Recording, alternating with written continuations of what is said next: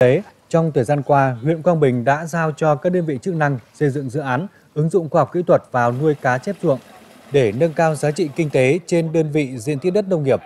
Dự án thực hiện tại thôn Khun xã Bằng Lang, thôn Trung xã Xuân Giang, thôn Minh Tiến xã Tiên Nguyên với tổng số 51 người tham gia. Dự án hỗ trợ 100% kinh phí con giống và kỹ thuật cho hộ gia đình tham gia dự án. Thời gian thực hiện dự án từ tháng 4 năm 2023 đến nay. Qua theo dõi cho thấy tỷ lệ sống của cá từ khi thả xuống ruộng nuôi đến khi nghiệm thu và kết thúc dự án vào tháng 10 năm 2023 đạt 59%, với giá bán 80.000 đồng một kg. Mô hình nuôi cá chép ruộng mang lại hiệu quả kinh tế cao gấp đôi so với trồng lúa.